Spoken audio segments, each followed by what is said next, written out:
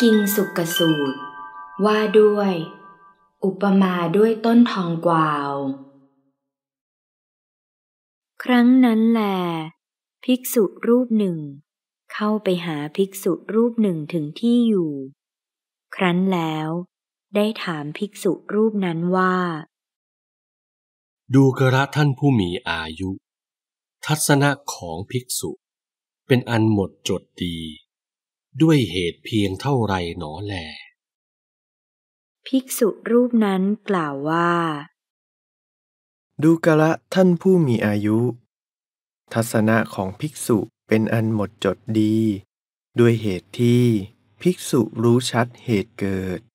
และความดับแห่งผัสสายตนะหกตามความเป็นจริง ทีนั้นแลภิกษุนั้น ไม่ยินดีด้วยการพยากรณ์ปัญหาของภิกษุนั้น จึงเข้าไปหาภิกษุอีกรูปหนึ่ง ครั้นแล้วได้ถามว่า ดูกระท่านผู้มีอายุ ทัศนะของภิกษุ เป็นอันหมดจดดี ด้วยเหตุเพียงเท่าไรหนอแล ภิกษุรูปนั้นกล่าวว่า ดูกระท่านผู้มีอายุ ทัศนะของภิกษุเป็นอันหมดจดดี ด้วยเหตุที่ภิกษุรู้ชัดเหตุเกิด และความดับแห่งอุปทานขันธ์ห้าตามความเป็นจริง ทีนั้นแลภิกษุนั้นไม่ยินดีด้วยการพยากรณ์ปัญหาของภิกษุนั้น จึงเข้าไปหาภิกษุอีกรูปหนึ่ง แล้วได้ถามว่า ดูกระท่านผู้มีอายุ ทัศนะของภิกษุ เป็นอันหมดจดดี ด้วยเหตุเพียงเท่าไรหนอแล ภิกษุนั้นกล่าวว่า ดูกระท่านผู้มีอายุ ทัศนะของภิกษุ เป็นอันหมดจดดี ด้วยเหตุที่ภิกษุรู้ชัดเหตุเกิด และความดับแห่งมหาภูตรูปสี่ตามความเป็นจริง ทีนั้นแล ภิกษุนั้นไม่ยินดีด้วยการพยากรณ์ปัญหาของภิกษุนั้น จึงเข้าไปหาภิกษุอีกรูปหนึ่ง แล้วได้ถามว่า ดูกระท่านผู้มีอายุ ทัศนะของภิกษุเป็นอันหมดจดดี ด้วยเหตุเพียงเท่าไรหนอแล ภิกษุรูปนั้นกล่าวว่า ดูกระท่านผู้มีอายุ ทัศนะของภิกษุเป็นอันหมดจดดี ด้วยเหตุที่ภิกษุรู้ชัดตามความเป็นจริงว่า สิ่งใดสิ่งหนึ่ง มีความเกิดขึ้นเป็นธรรมดา สิ่งนั้นทั้งมวล ล้วนมีความดับไปเป็นธรรมดา ทีนั้นแหลภิกษุนั้นไม่ยินดีด้วยการพยากรณ์ปัญหาของภิกษุนั้น จึงเข้าไปเฝ้าพระผู้มีพระภาคถึงที่ประทับ ถวายบังคม แล้วนั่งณที่ควรส่วนข้างหนึ่ง ครั้นแล้วได้กราบทูลพระผู้มีพระภาคว่า ข้าแต่พระองค์ผู้เจริญ ข้าพระองค์ขอประทานพระวโรกาส ข้าพระองค์เข้าไปหาภิกษุรูปหนึ่งถึงที่อยู่ แล้วได้ถามว่า ดูกระท่านผู้มีอายุ ทัศนะของภิกษุ เป็นอันหมดจดดี ด้วยเหตุเพียงเท่าไหร่ข้าแต่พระองค์ผู้เจริญ เมื่อข้าพระองค์ถามอย่างนี้แล้ว ภิกษุนั้นได้กล่าวกับข้าพระองค์ว่า ดูกระท่านผู้มีอายุ ทัศนะของภิกษุเป็นอันหมดจดดี ด้วยเหตุที่ภิกษุรู้ชัดเหตุเกิด และความดับแห่งผัสสายตนะหกตามความเป็นจริง ทีนั้นแหลข้าพระองค์ไม่ยินดีด้วยการพยากรณ์ปัญหาของภิกษุนั้น จึงเข้าไปหาภิกษุรูปหนึ่งถึงที่อยู่ แล้วได้ถามว่า ดูกระท่านผู้มีอายุ ทัศนะของภิกษุเป็นอันหมดจดดี ด้วยเหตุเพียงเท่าไหร่ เมื่อข้าพระองค์ถามอย่างนี้แล้ว ภิกษุนั้นได้กล่าวกับข้าพระองค์ว่า ดูกระท่านผู้มีอายุ ทัศนะของภิกษุเป็นอันหมดจดดี ด้วยเหตุที่ภิกษุรู้ชัดเหตุเกิด และความดับแห่งอุปทานขันห้า ตามความเป็นจริง ทีนั้นแหละ ข้าพระองค์ไม่ยินดีด้วยการพยากรณ์ปัญหาของภิกษุนั้น จึงเข้าไปหาภิกษุรูปหนึ่งถึงที่อยู่ แล้วได้ถามว่า ดูกระท่านผู้มีอายุ ทัศนะของภิกษุเป็นอันหมดจดดี ด้วยเหตุเพียงเท่าไรเมื่อข้าพระองค์ถามอย่างนี้แล้ว ภิกษุนั้นได้กล่าวกับข้าพระองค์ว่า ดูกระท่านผู้มีอายุ ทัศนะของภิกษุเป็นอันหมดจดดี ด้วยเหตุที่ภิกษุรู้ชัดเหตุเกิด และความดับแห่งมหาภูตรูปสี่ตามความเป็นจริง ทีนั้นแหลข้าพระองค์ไม่ยินดีด้วยการพยากรณ์ปัญหาของภิกษุนั้น จึงเข้าไปหาภิกษุรูปหนึ่งถึงที่อยู่ แล้วได้ถามว่า ดูกระท่านผู้มีอายุ ทัศนะของภิกษุ เป็นอันหมดจดดี ด้วยเหตุเพียงเท่าไร เมื่อข้าพระองค์ถามอย่างนี้แล้ว ภิกษุนั้นได้กล่าวกับข้าพระองค์ว่า ดูกระท่านผู้มีอายุ ทัศนะของภิกษุ เป็นอันหมดจดดี ด้วยเหตุที่ภิกษุรู้ชัดตามความเป็นจริงว่า สิ่งใดสิ่งหนึ่ง มีความเกิดขึ้นเป็นธรรมดา สิ่งนั้นทั้งมวล ล้วนมีความดับไปเป็นธรรมดา ทีนั้นแหละข้าพระองค์ไม่ยินดีด้วยการพยากรณ์ปัญหาของภิกษุนั้น จึงเข้ามาเฝ้าพระผู้มีพระภาคถึงที่ประทับ ขอทูลถามพระผู้มีพระภาคว่า ข้าแต่พระองค์ผู้เจริญ ทัศนะของภิกษุเป็นอันหมดจดดี ด้วยเหตุเพียงเท่าไรหนอแล พระผู้มีพระภาคตรัสว่า ดูกระภิกษุ บุรุษยังไม่เคยเห็นต้นทองกวาว บุรุษนั้นพึงเข้าไปหาบุรุษคนใดคนหนึ่ง ผู้เคยเห็นต้นทองกวาวถึงที่อยู่ แล้วถามอย่างนี้ว่า ดูกระบุรุษผู้เจริญ ต้นทองกวาวเป็นเช่นไร บุรุษนั้นพึงตอบว่า ดูกระบุรุษผู้เจริญ ต้นทองกวาว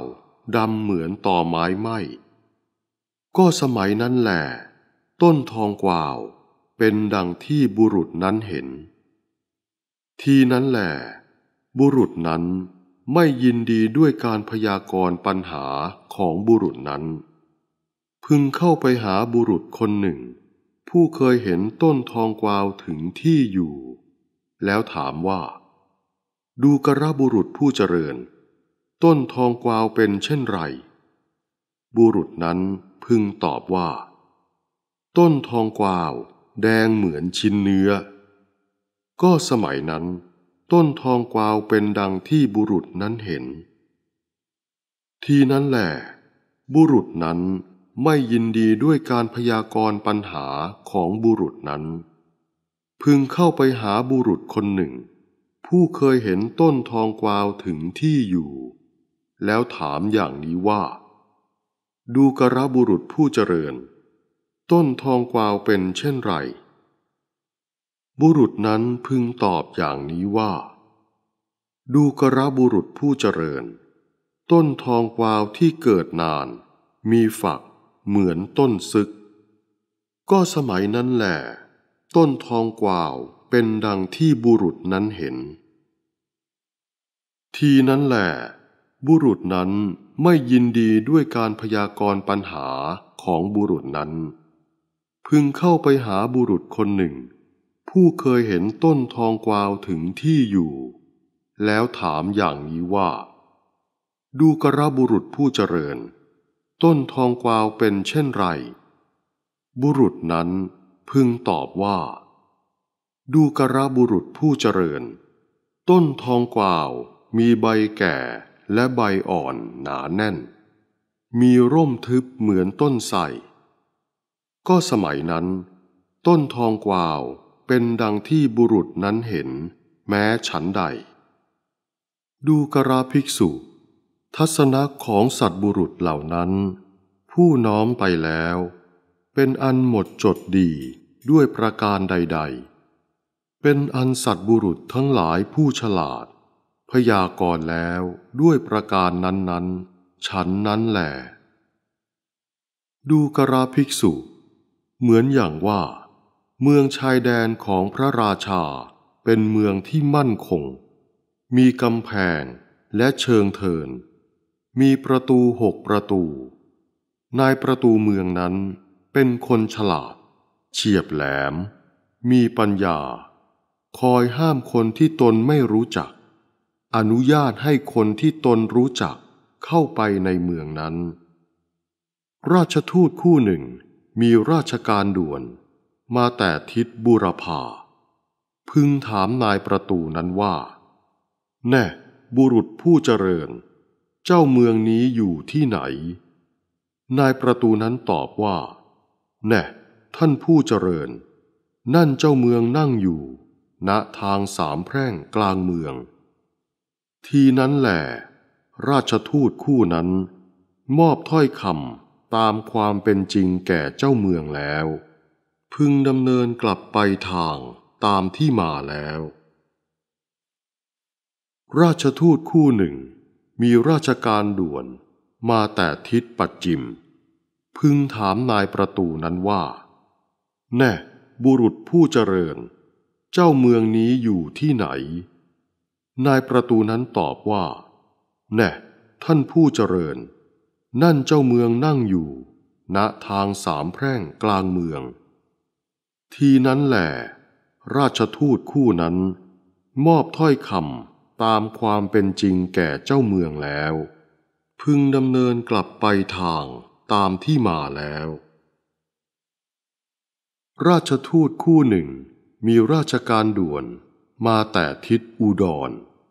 พึงถามนายประตูนั้นว่า แน่บุรุษผู้เจริญ เจ้าเมืองนี้อยู่ที่ไหน นายประตูนั้นตอบว่า แน่ท่านผู้เจริญ นั่นเจ้าเมืองนั่งอยู่ ณทางสามแพร่งกลางเมือง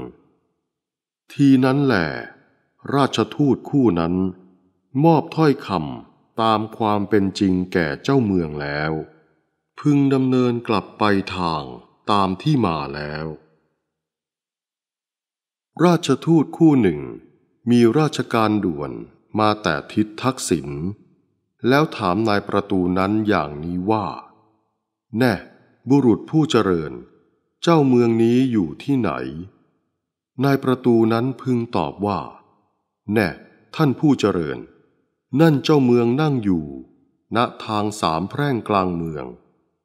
ทีนั้นแหละราชทูตคู่หนึ่งนั้น มอบถ้อยคำตามความเป็นจริงแก่เจ้าเมืองแล้ว พึงดำเนินกลับไปทางตามที่มาแล้ว ดูกระภิกษุ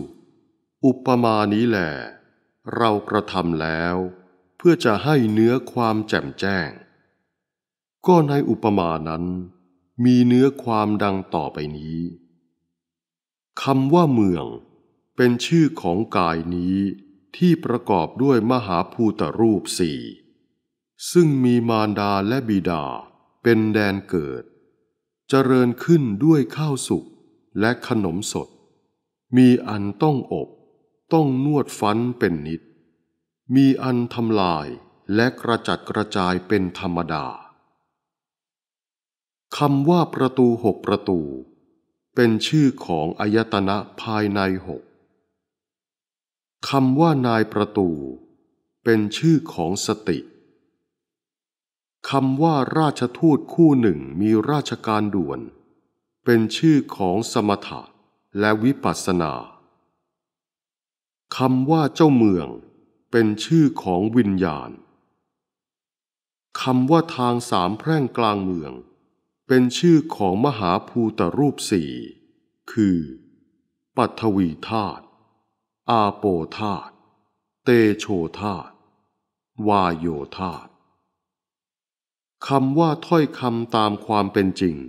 เป็นชื่อของนิพพานคำว่า ทางตามที่มาแล้ว เป็นชื่อของอริยมรรคมีองค์แปดคือ สัมมาทิฏฐิ สัมมาสังกัปปะ สัมมาวาจา สัมมากัมมันตะ สัมมาอาชีวะ สัมมาวายามะ สัมมาสติ สัมมาสมาธิ จบ กิงสุกสูตร